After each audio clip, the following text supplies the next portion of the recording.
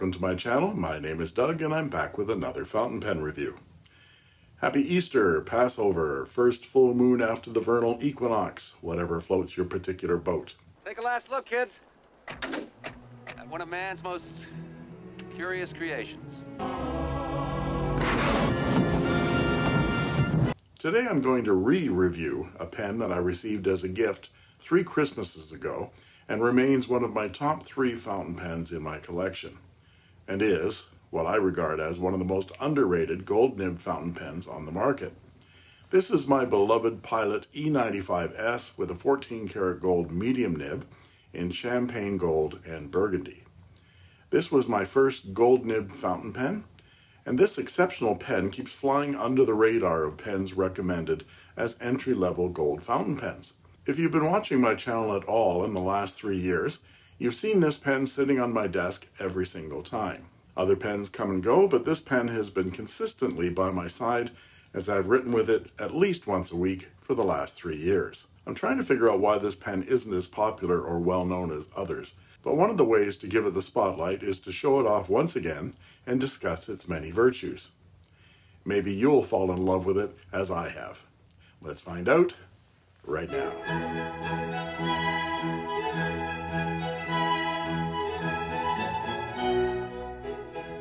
I'm going to cut in the unboxing I did three years ago. It was a bit unusual as the day the pen arrived, my furnace died, and I had technicians in the house installing a new one. So I was confined to my kitchen as my office was a construction site. And of course, on the day that my furnace dies is the day that my pen has arrived.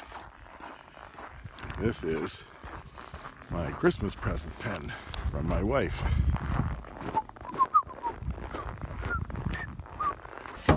Yes. Yay, Amazon. So, here's my box from Amazon. as I mentioned.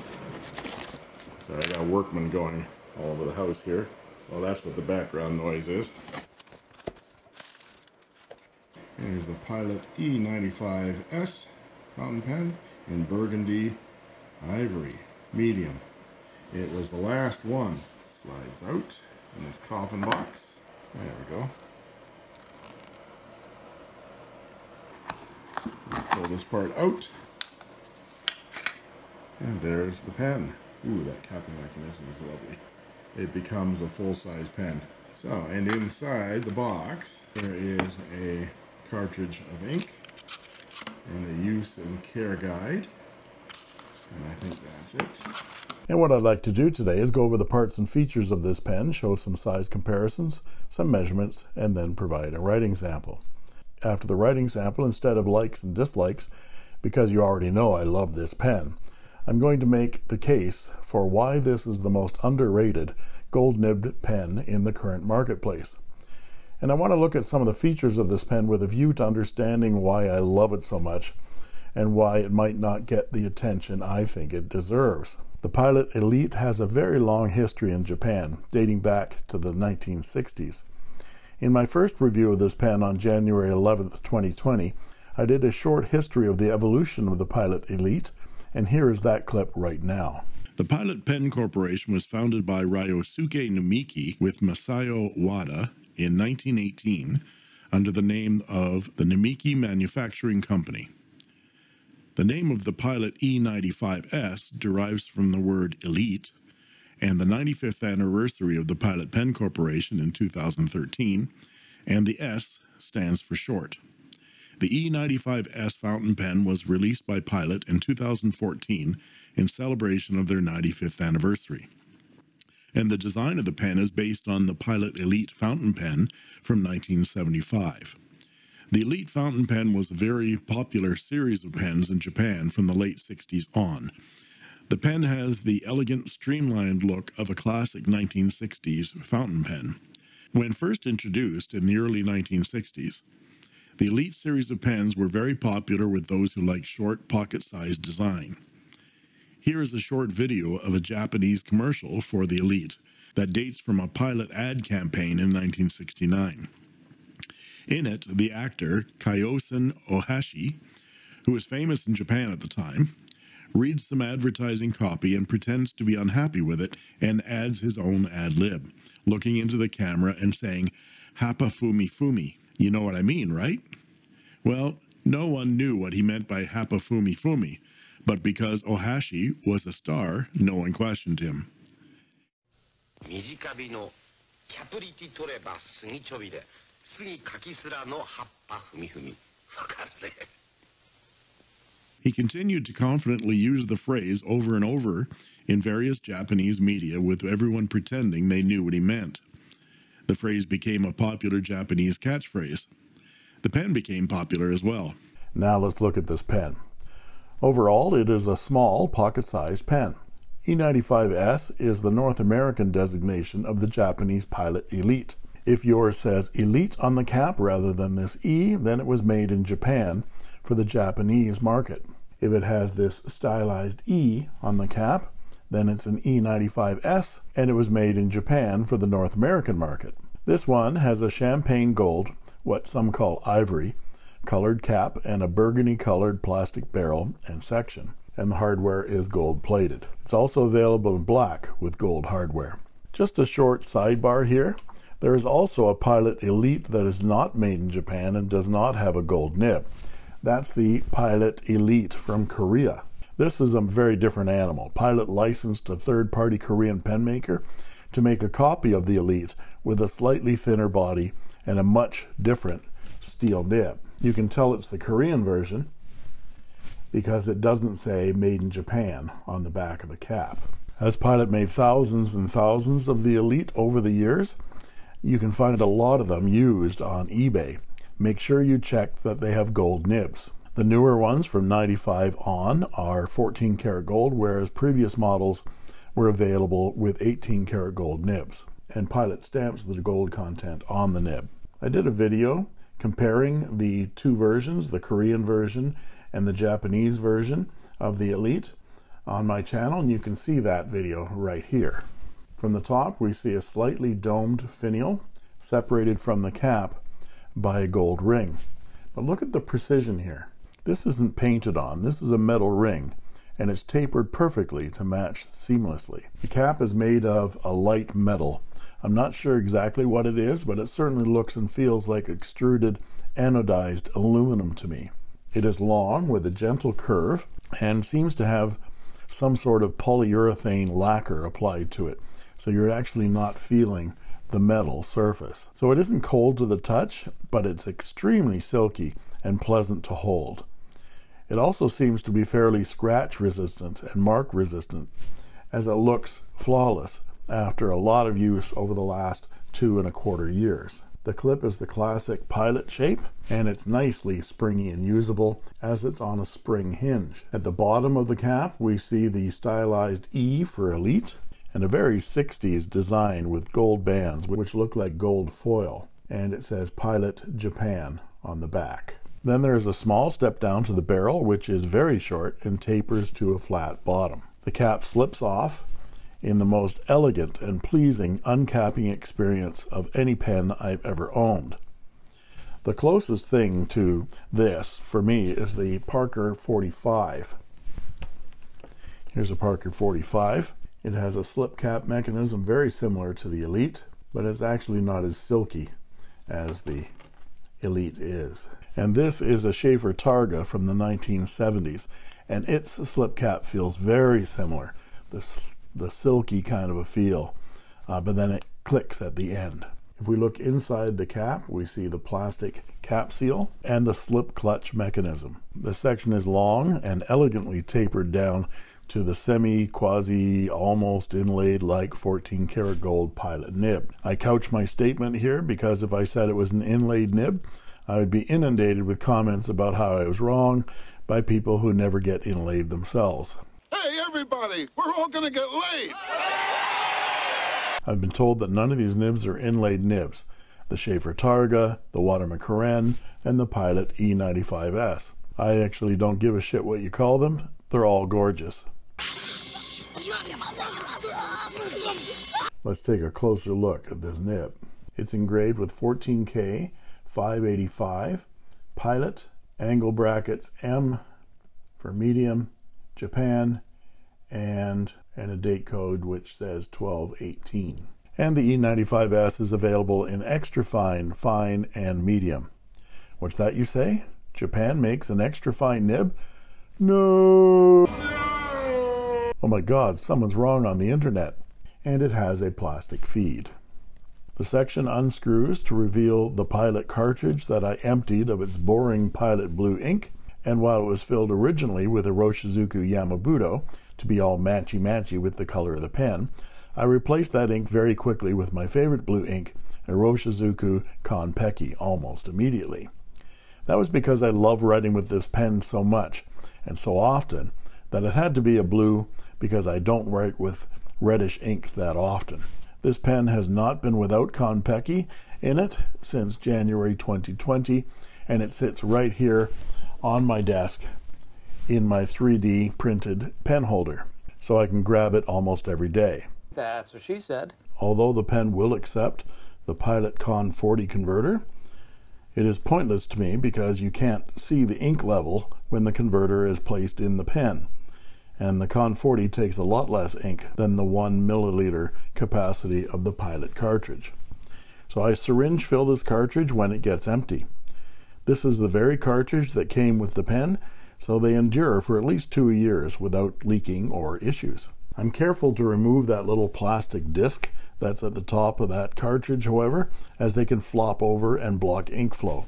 That happened on my wife's Pilot Decimo, and removing the disc solved her issue of the pen drying out between uses. Unposted, this pen is almost unusable, as it's so short. But of course, the pen was designed to be posted, and this is where the magic happens. The pen becomes a regular sized fountain pen when posted. It's very light and very balanced and very, very comfortable in the hand. The section is long and tapered, and almost any grip will find a place that's comfortable on this pen. The Pilot E95S is available at most online pen retailers in North America for around $135 US. Now let's look at some size comparisons. Here is the Pilot E95S with some other pilots. A Pilot Metropolitan, a Pilot Custom 74, a Pilot Decimo, and a Pilot Falcon. Now let's look at them posted. And here they are posted. These are all gold nib pens except for the Metro, of course. And the Decimo is a retractable pen. Now let's look at some other brands posted. And here we are with some other brands. This is the Waterman Carène.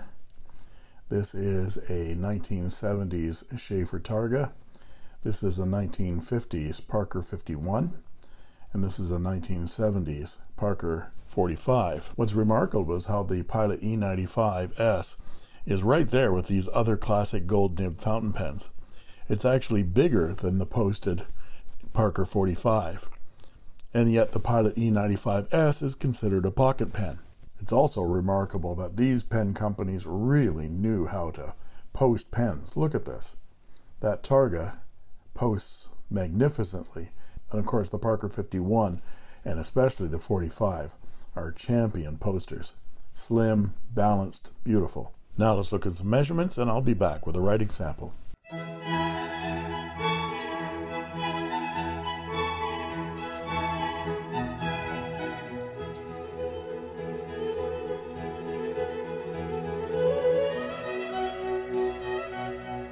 And we're back with the writing portion of the review. This is Clairefontaine 90 GSM paper, and this is the E95S Pilot.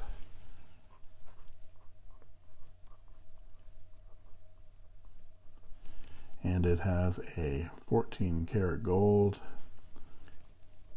medium nib. And checking the wetness on this pen it's beautifully wet, wonderfully wet, juicy, and smooth. Smooth like butter, smooth pen. If you don't like an extremely smooth, light pen, this one might not be for you. And the ink is Iroshizuku Konpeki. This is my go-to ink in any modern pen. If I ever suspect a pen is having ink flow issues, I'll replace the ink with Konpeki because I know it behaves so very nicely and is a nice wet flowing ink. For vintage pens, I would stick with Waterman Mysterious Blue or Serenity Blue as they are relatively pH neutral for pens with rubber sacks. And here are some close matches to this ink from inkswatch.com. As to line variation, well, you can squeeze out a little as there is some nice bounce to this beautiful nib.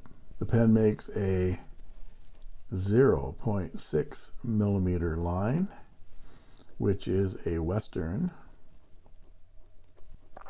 medium or a Japanese, just slightly broader than medium. And for our quote,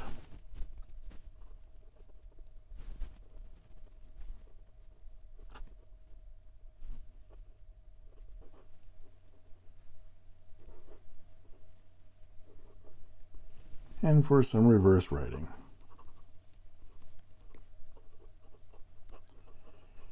It's a bit scratchier and very, very dry. And some quick writing.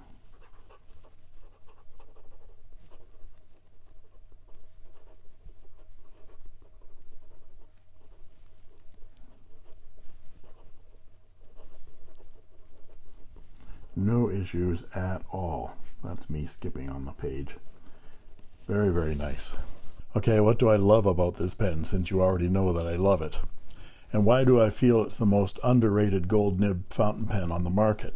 There are a lot of videos out there promoting various pens as the top entry level gold fountain pen. Top 5, top 10.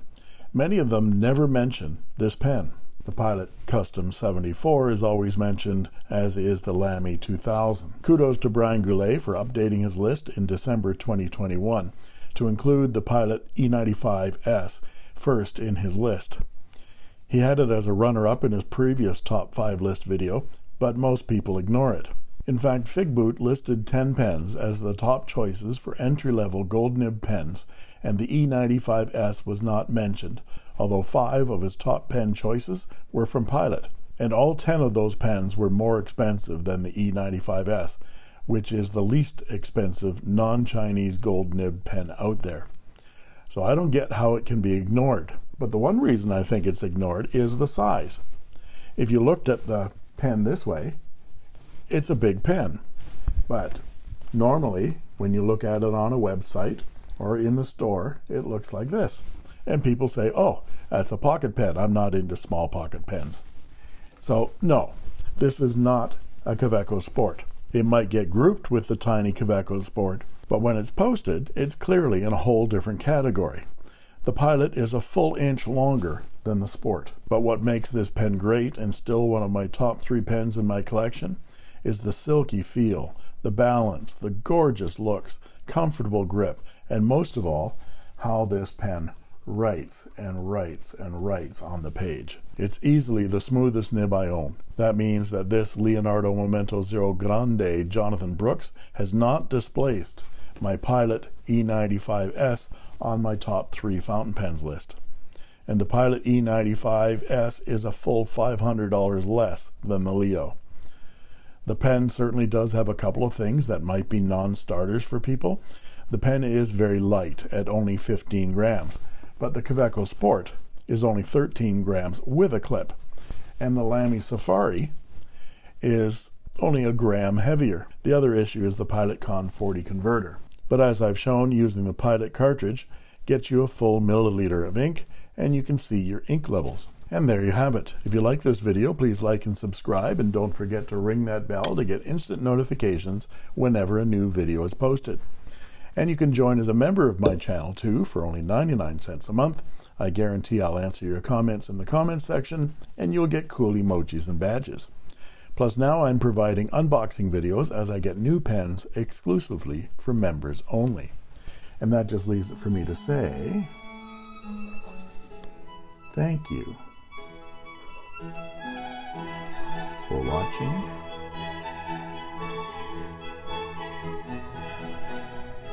And that's all she wrote.